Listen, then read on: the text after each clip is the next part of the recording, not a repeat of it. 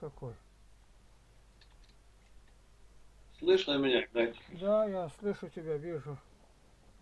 Там э, Надя Дмуха мне написала, что у вас на веранде, где шифонер за дверями, видела два костыля.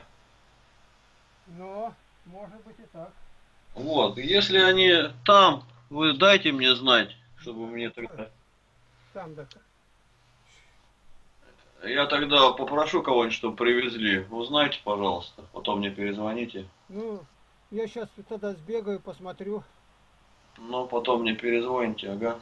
Ну да ты перезвонишь мне через, там, допустим, 5 минут, 7 минут. Хорошо, перезвоню. Ладно.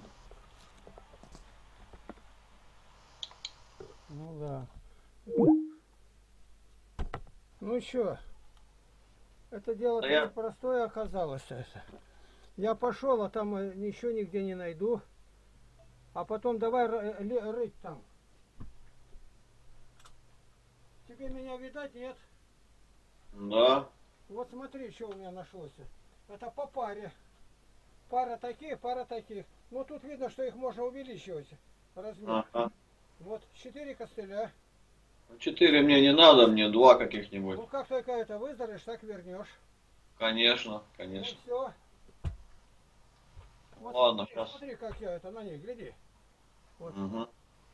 Ну, нормально. Нормально, нормально, конечно, я тогда больше не А буду. помнишь, как я тебя в Потеряевке давал-то, самодельные?